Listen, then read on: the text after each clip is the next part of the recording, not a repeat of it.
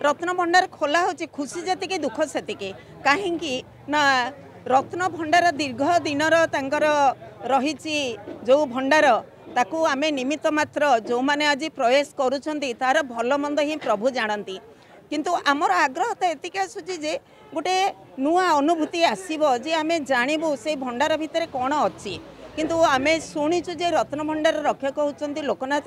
ତା ଭିତରେ କିଛି ଗୋଟେ ଶବ୍ଦ ହୁଏ ସମୁଦ୍ରର ଗର୍ଜନ ଶୁଭେ। ଆଉ ତା ଭିତରେ ବି ଆମର ଲୋକନାଥ ଜଗିକି ରହିଥାନ୍ତି। ତେଣୁ ସେ ଭିତରେ ଗୋଟେ ଭୟଙ୍କର ସୃଷ୍ଟି ହୁଏ।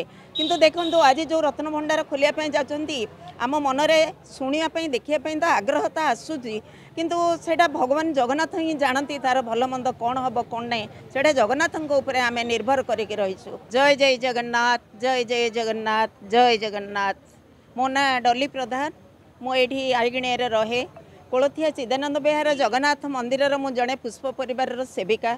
ଦୈନନ୍ଦିନ ଜଗନ୍ନାଥଙ୍କର ଯେଉଁ ମାଲ୍ୟାର୍ପଣ ହୁଏ ପୁଷ୍ପରେ ବେଶ କରାଯାଏ ପ୍ରଭୁଙ୍କର ସେ ବେଶରେ ଆମେ ଲେଡ଼ିଜ୍ ଆଠ ଦଶ ଜଣ ପ୍ରାୟ ଦୈନନ୍ଦିନ ଜୀବନରେ ସକାଳୁ ମିନିମମ୍ ତିନିରୁ ଚାରି ଘଣ୍ଟା ପର୍ଯ୍ୟନ୍ତ ଆମେ ଠାକୁରଙ୍କର ସେବାରେ ନିୟୋଜିତ ହୋଇଥାଉ।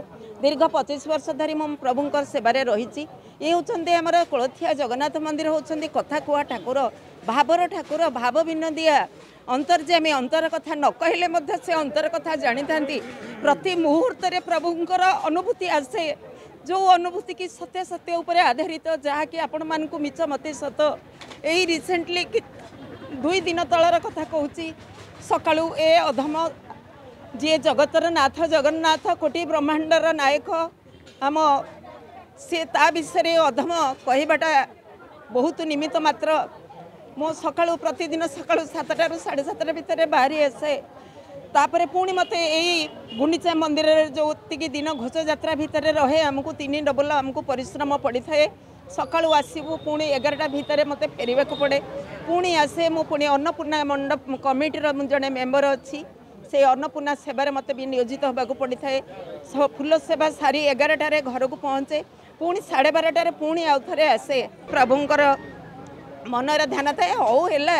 প্রভু যেত সেবার দিয়েছেন সি তা কথা বুঝব মনরে সবুলে থাকে মু এইটু গলাপরে কাহা সাংে তো কেউটি হলে তো কি জন ডাকি দেব কিন্তু ঘর বাহারা বেড়ে বিশ্বাস করবেনি মু এড়ু যাইছি পুঁ আসে বার সাড়ে বারে আসবি পুঁ এঠু গলা বেড়ে সাড়ে চারি পাঁচটা পাখাপাখি পুঁ মতো সাড়ে ছু আসবা সন্ধ্যা দর্শনের আসবা মোরে রাতে আমার যে কলচরাল প্রোগ্রাম হয় সে প্রোগ্রামে ସେ ପ୍ରୋଗ୍ରାମରେ ମଧ୍ୟ ଯେଉଁମାନେ ପାର୍ଟିସିପେଟ୍ କରନ୍ତି ସେମାନଙ୍କର ଖାଇବା ପିଇବା ଦାୟିତ୍ୱ ନ ସରିଲା ପର୍ଯ୍ୟନ୍ତ ମୁଁ ଯାଇପାରିନଥାଏ। ସେ ପର୍ଯ୍ୟନ୍ତ ସରିଲା ବେଳକୁ ରାତି ଏଗାର ବାର ପର୍ଯ୍ୟନ୍ତ ହେଇଥାଏ।